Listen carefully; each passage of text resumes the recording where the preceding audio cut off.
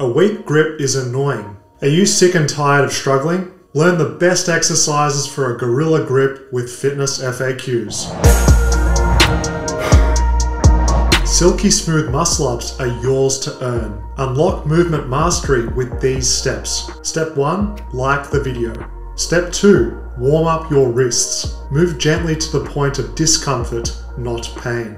This movement preps the body for false grip. Continue by opening the wrists in the opposite direction, followed by joint rotations. Finish with forearm pumps. Keep your wrists flexed and grip tight. This warm up makes everything easier. Rows, rows, and more rows. This exercise builds forearm tolerance. We're capable of more practice thanks to less body weight. Keep a strong overgrip during the set. Distracting ourselves from discomfort is the benefit of rows. Our mind is focused on the pull and away from our sizzling wrists. False grip rows are everyone's homework. You can't build a strong grip without a solid foundation. Forearms are a muscle group which recovers quickly. After just a few workouts, your false grip will feel noticeably stronger. Progress to pull-ups. These can be done on a bar or rings. Pulling our full body weight isn't easy. Crippling cramps in the fingers, hands, and forearms are normal. This feeling is called active insufficiency.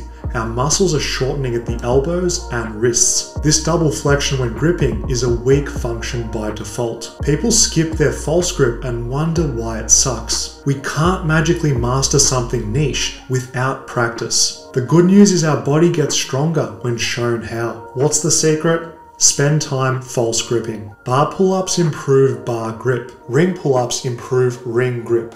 Our body gets good at what we repeatedly do, so choose wisely. Specificity spares no one. We can't hide from direct work in order to create change. The truth is, false grip is never going to be 100% comfortable. Tolerance improves with exposure. You'll learn how to resist short term pain and make long term gain. Do not neglect hanging. This straight arm false grip sets you up for success. There's nothing fancy about hanging, it's a battle against the burn. Simply getting into the false grip is difficult in and of itself. Don't discount the benefits that you're gaining from this action alone. Understand that each effort is making you better and the struggle isn't in vain. Basics are the building blocks of your body.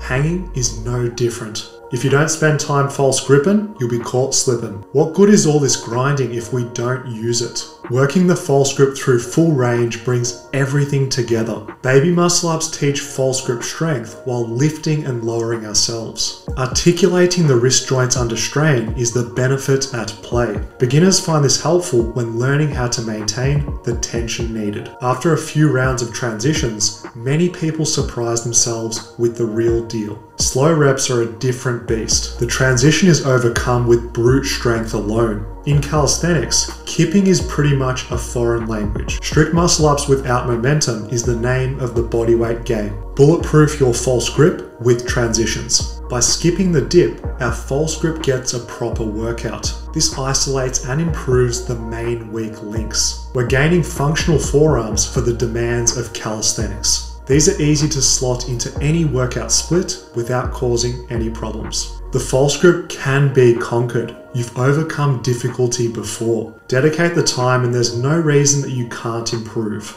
No excuses. Stop avoiding, start doing. See you legends.